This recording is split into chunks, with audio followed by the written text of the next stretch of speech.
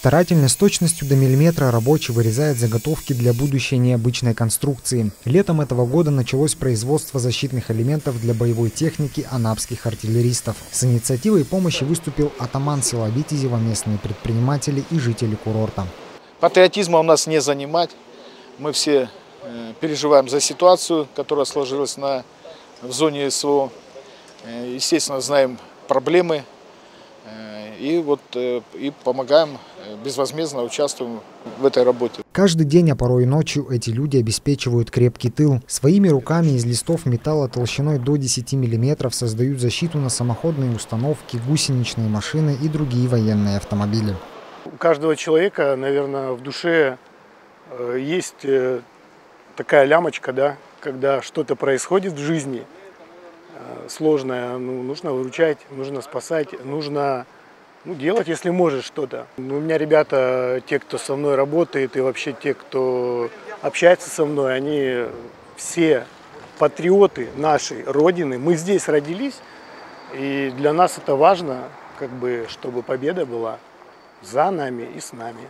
Первый в цепочке создания защитных элементов бывший авиаконструктор Виктор Жулев. Начальные чертежи разрабатывал, черпая информацию у ветеранов боевых действий. И в итоге карандаш Виктора вывел конечный вариант конструкции. Одна из разработок предназначена для защиты реактивных систем.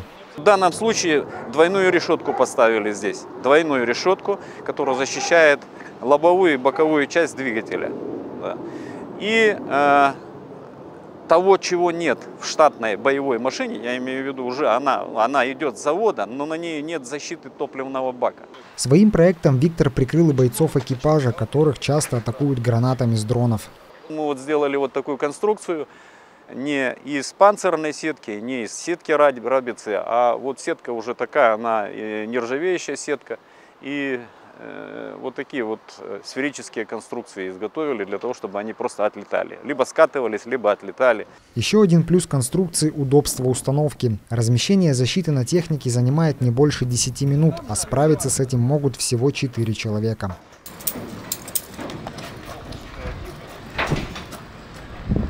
И я лично, и весь мой личный состав – и просто сослуживцы, которые находятся там в зоне соприкосновения, они выражают огромные слова благодарности. Тут, ну, это просто не описать и не высказать. Низкий поклон за, за такую поддержку. За четыре месяца волонтеры изготовили десятки бронезащит. Конструкции уже помогают нашим ребятам на передовой. Объемы производства предполагается увеличить. Цель одна – спасти жизни наших бойцов и приблизить победу. Никита Васюхин, Антон Чистяков, Анапа регион.